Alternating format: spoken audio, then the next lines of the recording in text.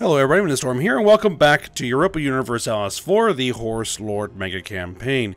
In the last episode, we kind of just coasted along for a little bit, just you know, working on getting you know tech done. We were able to get our military tech increased. We're now up to 11. No, not 11. We're up to 10. We we will be going to 11 soon. Actually, pretty soon. You only need 492 power.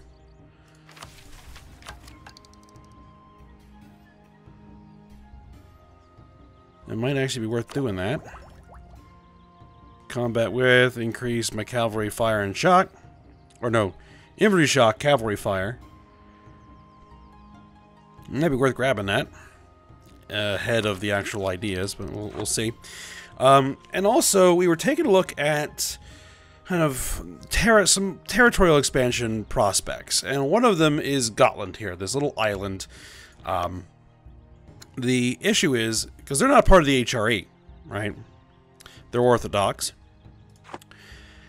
And the issue with them is that they are an ally of Byzantium. I was going ahead and looking at Byzantium in the ledger and noticed that I have a bigger army than they do. And I have a larger manpower pool than they do. And I have better military tech than they do now that we're at 10. So there may be a potential here that we could go to war uh, with Byzantium. Well, we'll go to war with Gotland, and then by extension Byzantium, to take that little island and maybe see what we can do, you know, with Byzantium. Uh, and uh, see if we can't maybe get some stuff from them, you know, at the very least, war reparations, large piles of ducats, perhaps even some territory uh, from from them. So we'll see about that. Um, I've been kind of looking at things here, and there are some things I want to do before that, because we're going to need to land an army in Gotland, and I was looking at Gotland in the Ledger, and they have 6,000 troops, 10,800 manpower, um, and they actually do have better military technology than we do. You know, I was thinking of taking this 8,000 troop stack, but I'm not sure that's going to be entirely enough.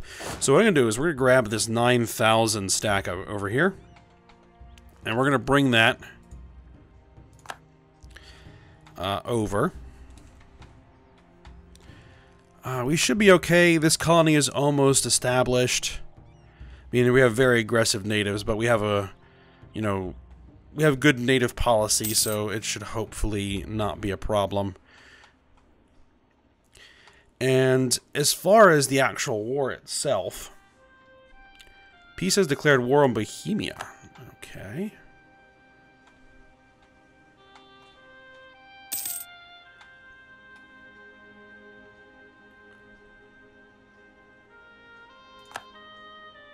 We lost that Casus Belli.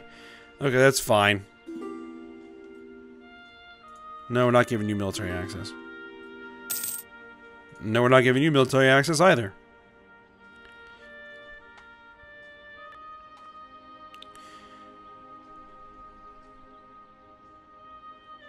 So there is Pisa, but I think like this is Pisa also owns all of this.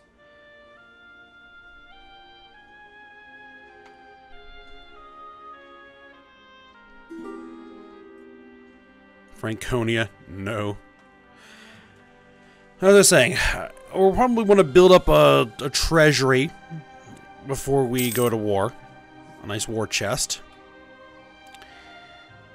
And... Looks like Byzantium is dealing with uh, some rebels. Tengri Zealots. Oh, nice.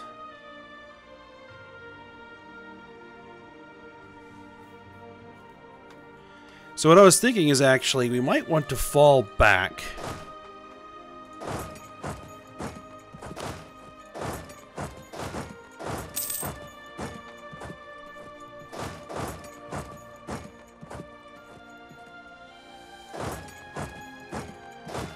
Let's see, yep, there.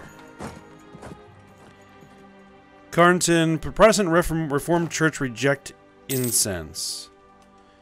Many Reformed and Protestant theologians have come to reject not only the elaborately decorated nature of Catholic churches, but also the use of incense in religious rituals. The use of scents, candles, and incense is now increasingly considered sacrilege, and as a result, the demand for all types of incense that for over a thousand years have pulled frankincense and myrrh from the east to Europe has finally begun to decrease.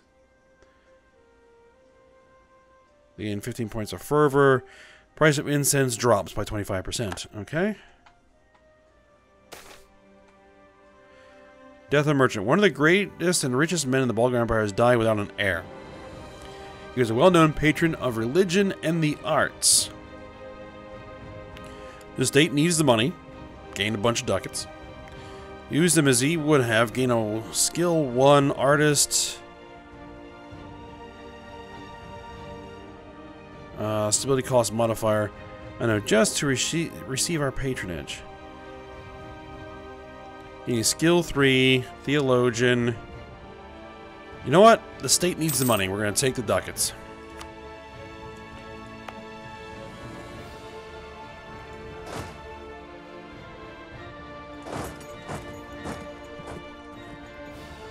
I park them somewhere where they're not going to sit there and suffer attrition. There you go. Yeah, so we're going to pull back and we're going to let the Byzantine army actually come into our territory. And then hopefully get stuck sieging one of these forts.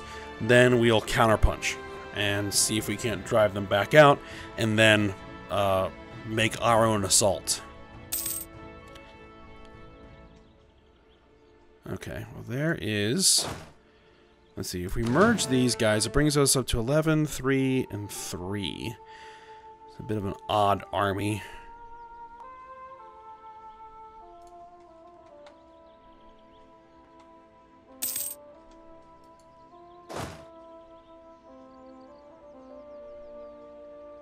It's alright. It should work.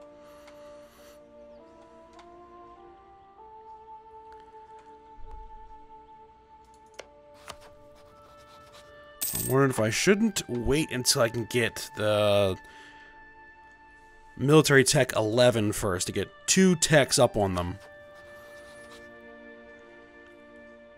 Just to really improve our advantage. When will we get this tech? November of 1554, so it'll be two more years. Uh, what if I were to make some adjustments here? Um,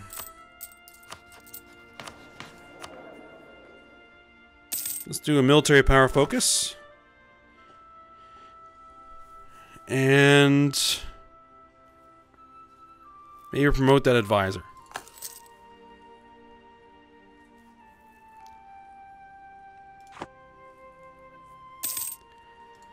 Now how long will it take to get that tech?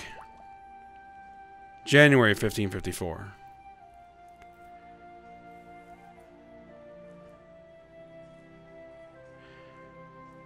The France is preparing to attack Castile.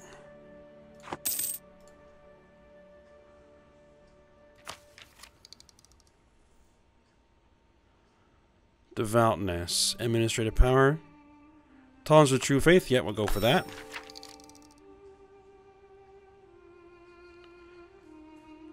We have encourage local trades, national unrest minus one, production efficiency plus 10.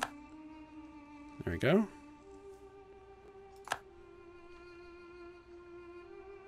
Next one is going to be ruthless tributes, national tax modifier plus 10%. And then we're going to get conscription, national manpower modifier plus 15%. So just really pump up that manpower pool, which is going to give us much better endurance in wars. Alright, so you guys actually march down to Stockholm.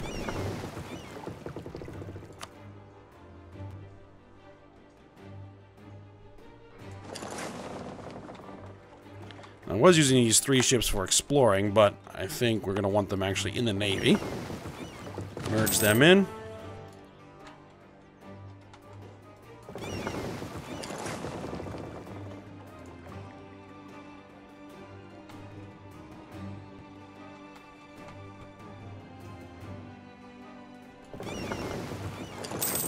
Alright, you guys come into port.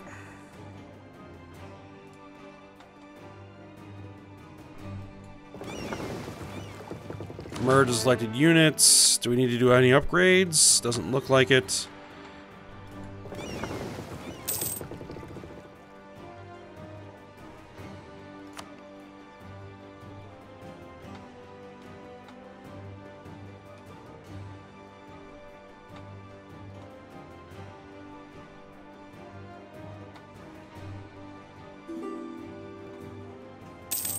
Marriage offer from Mongolia. Yep, we'll accept that.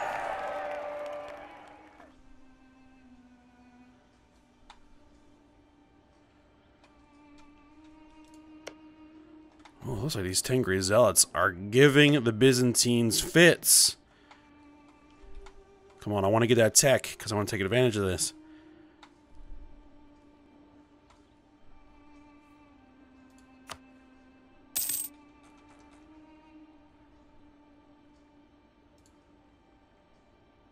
Seventy-seven thousand troops, eighty-six thousand manpower.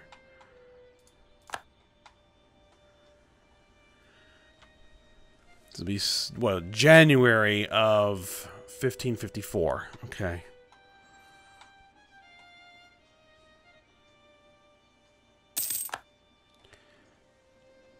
Do I still have a commander? There's I have no leaders. Okay.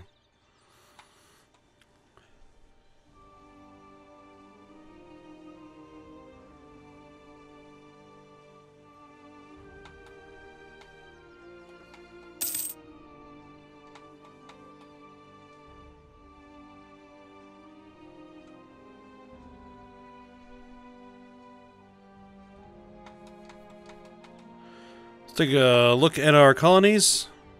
Almost there.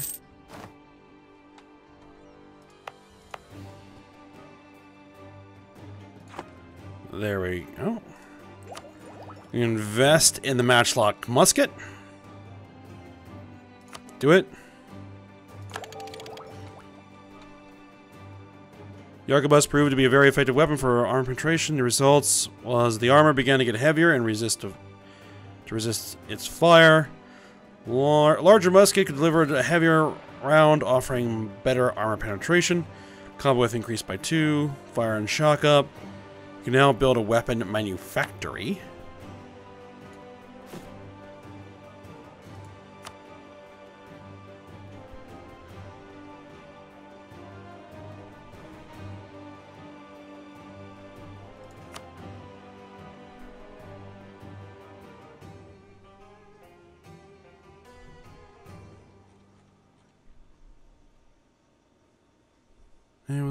Grain.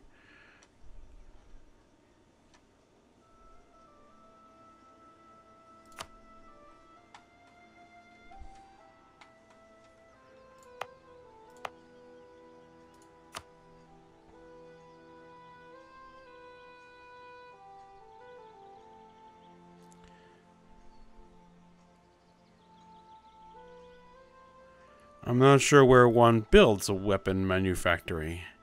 And I can build a manufactory.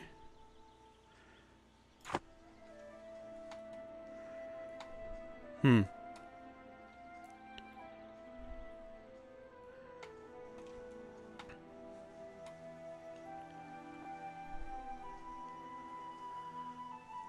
No, I probably actually want to wait for the military power to increase a little bit because we're going to need it to make generals.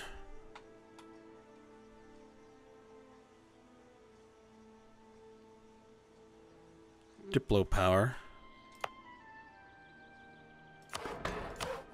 Spend a little bit of that.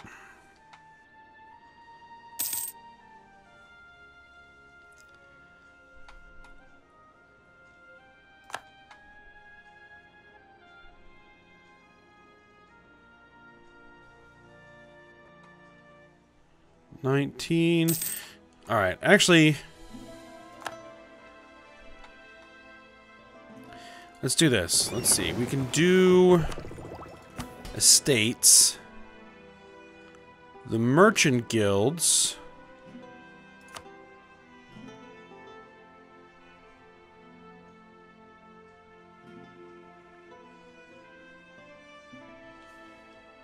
Merchant Guild's influence is 40 or greater.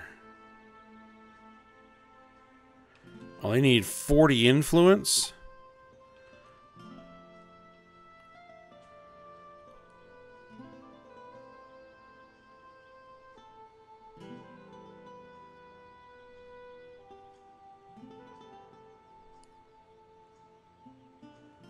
And I can increase their loyalty by, or their influence by 10.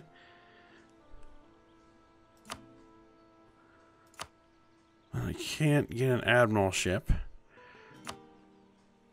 Grant generalship. They'll gain 20 influence.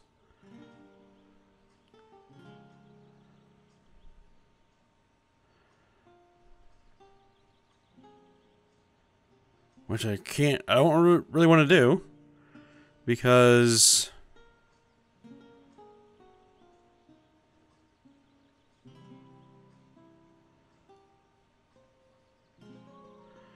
Well, we're just going to have to actually wait for some military power so I can just roll up a general. Because I don't want to do this without at least one commander.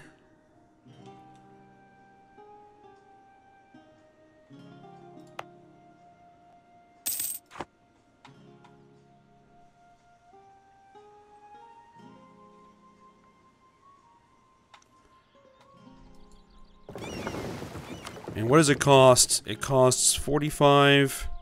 Yeah, we can roll recruit an admiral. Let's do that. Not great, but it's better than nothing. Conflict and protests over taxes, corporations, port duties, navy requisitions, trade, and customs policies were quite frequent, often had counterproductive effects. Reduce trade investment, lose 50 diplo power, merchant guilds gain 10 loyalty. Lose a mercantilism. Uh, we'll lose the diplo power, fine.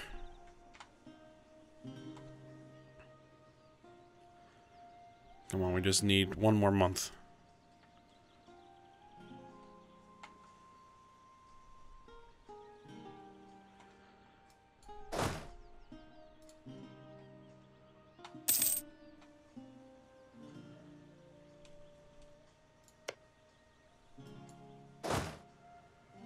Now, I wonder if I shouldn't...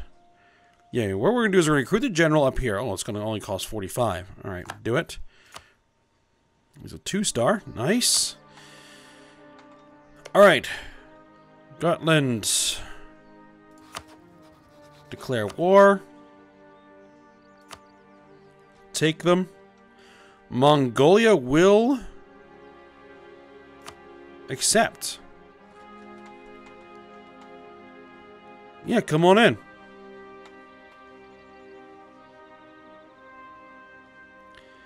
It'll cost us 10 favors. Well, I mean, because we, we help them out, so it's only right they then help us out. So... Do it.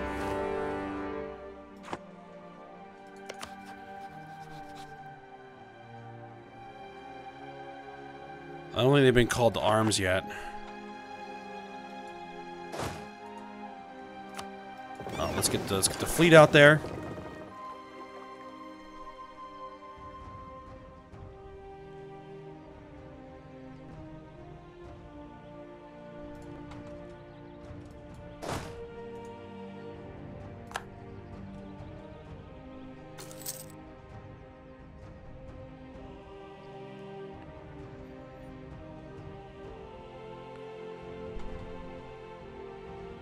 Gonna have to do a amphibious invasion, essentially. Hopefully. Well, we have equivalent military tech. Our general's not much worse than theirs. Oh, we need to, um...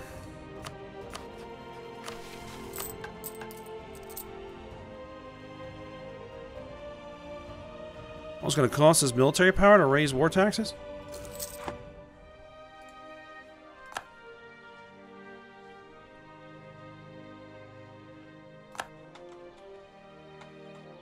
Okay, well, we managed to defeat their army. And so far...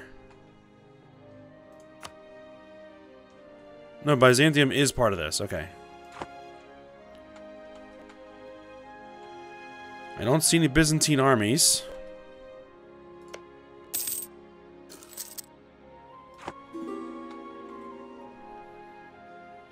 An offer to rent Condottieri from Vastergotland if we do not respond. No, we don't need Condottieri.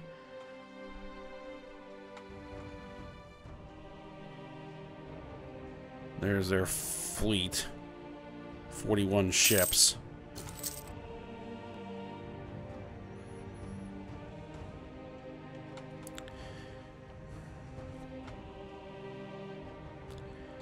Give them a little bit more time. Probably wait until spring. Alright, the levy. In time, many of the everyday concerns in the life of our empress and predecessors, oh, and her predecessors, has become the subject of ceremony. Being able to attend the bedroom of the ruler as she dresses, for instance, is considered by many to be the best way to gain the ear of the empress. An elaborate court life will certainly limit the power of our nobles, to plot against us in their countryside properties, but it could also prove quite expensive. Denying them the right to be part of daily life of the Empress entirely, on the other hand, would also limit their influence when the nobility will likely resent it. Loses 10 loyalty. We can't really afford to lose the ducats. What's their loyalty right now? 50? let's keep it on a modest level.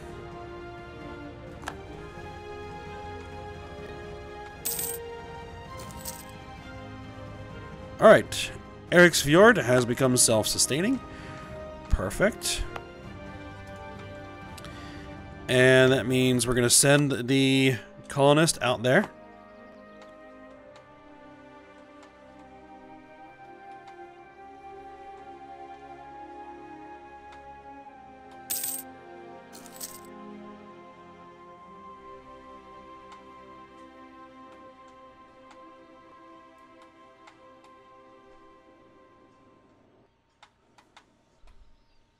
Okay, well, if they're not coming for me, then we're going to send...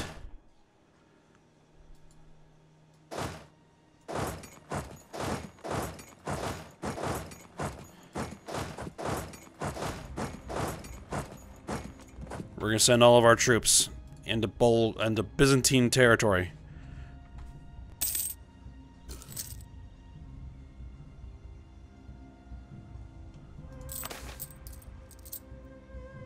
Our Prince Consort Bulger has impressed many men and women at court with his sharp and witness sense of knowledge of the natural world.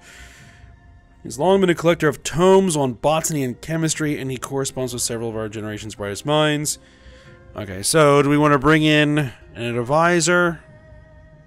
Or gain 50 admin power? I want the admin power, do it.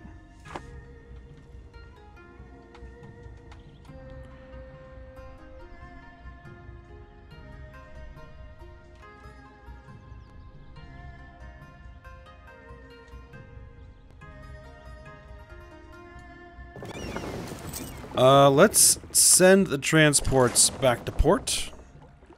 For the time being, because as soon as we complete that siege, there's going to be a big naval battle.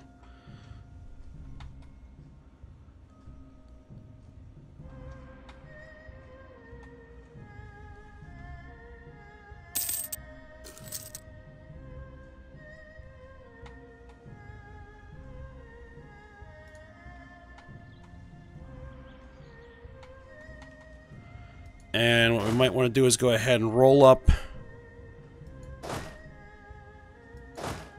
I guess I can't while there's sieges going on.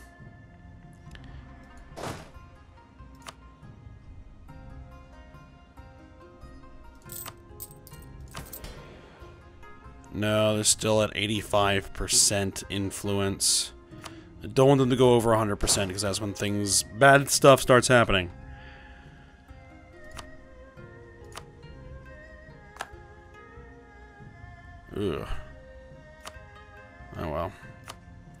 Better than nothing, I suppose.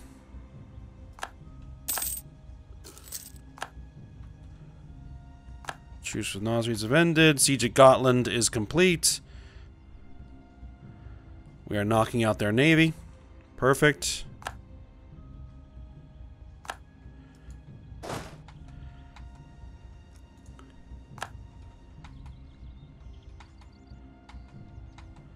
Whoa, whoa, whoa, whoa. No. There, that that would be better.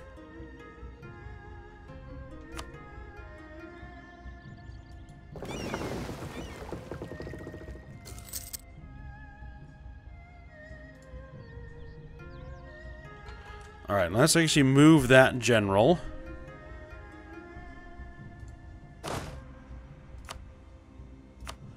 Move you over here.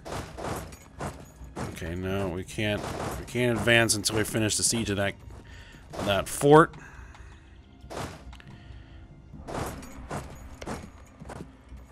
Let's get our whole army down here.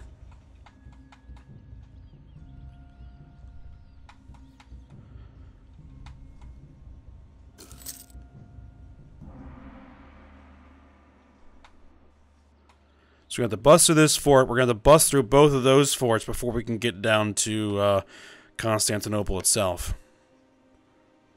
But that's going to be our goal. Get through there, siege these two, get down here, take the capital.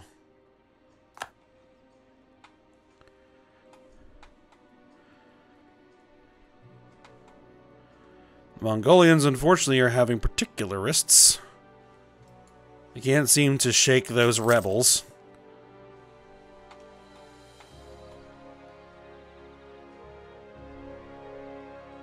For the time being, we'll keep the, the fleet up here.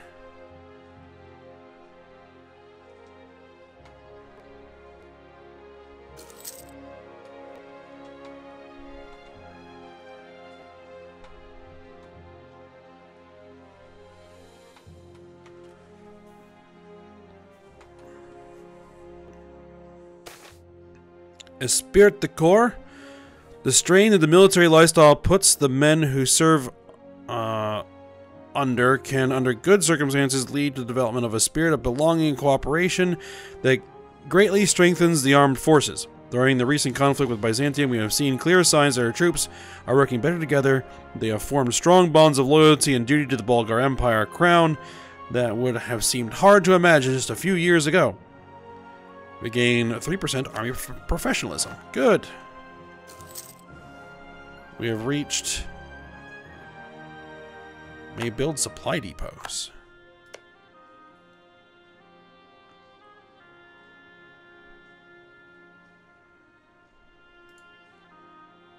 National decisions available. State firearm regiments. While technology is still in its infancy, firearms can be a deadly force on any battlefield. In order to be efficient, however, firearms require regular training and a steady supply of ammunition. For regular levy army, this level of proficiency can be hard to maintain. A soldier that has to go home to tend his fields is not one that will regularly exercise with his weapon. While we cannot change our entire army structure in one stroke, we can ensure that the a corps of highly trained, salaried troops specialize in these weapons. So what will that do? Our land maintenance modifier increases by 15%. Army drill gain modifier plus 40%. Sure, do it.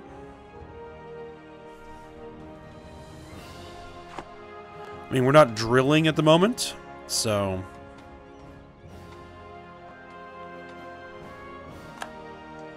We discovered a Byzantine spy.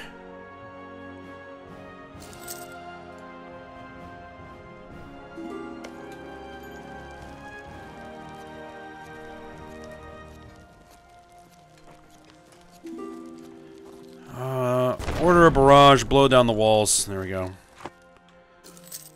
From Bavaria. No, no. Nobody.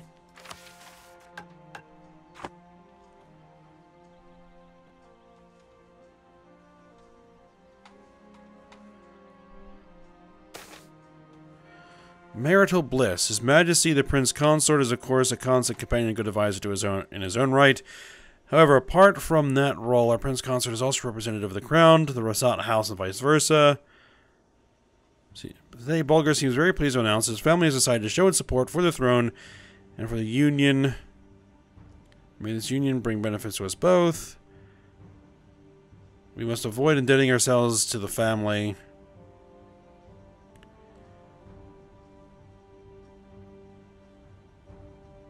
I'll take the prestige.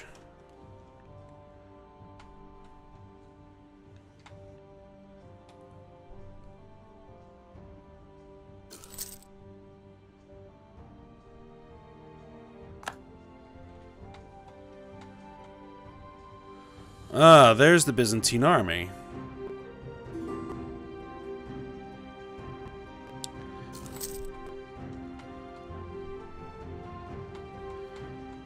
Alright, how many troops are we looking at? Um, a lot.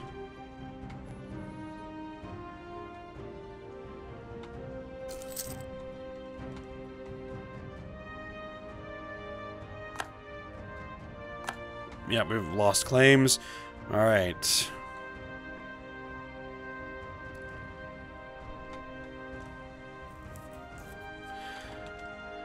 Uh, let's see. Let's leave... Let's leave two armies here. Let's gather our forces into one big... Big blob here.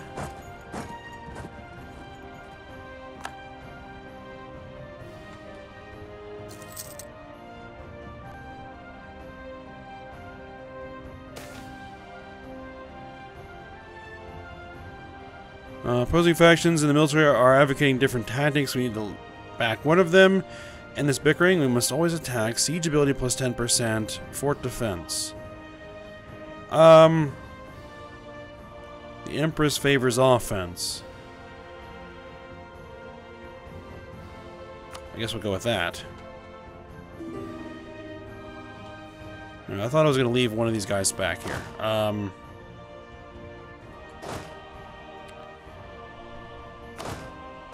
Yeah, you, you stay here. Okay.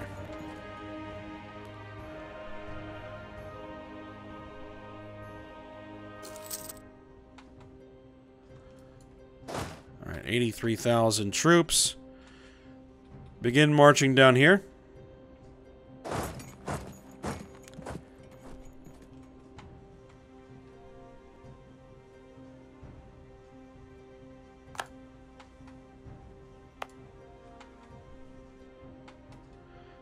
They're going to try and attack me over there, that's fine.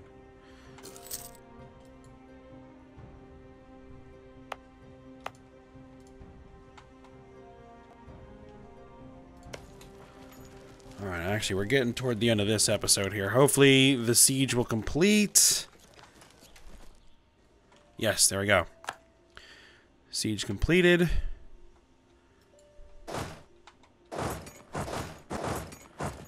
And then we're going to start working our way. You head all the way there. You start working on provinces. Alright. So we are marching our army into position. We should be able to defeat both those armies.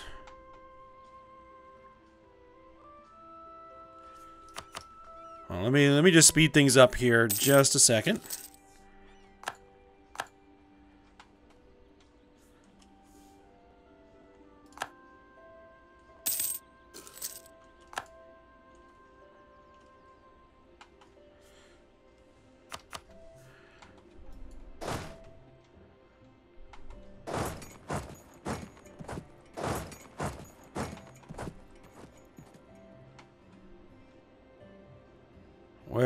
Marching? They're marching over there. Okay.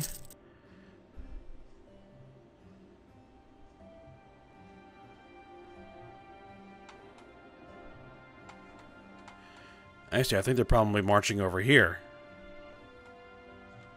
There's 35,000 troops.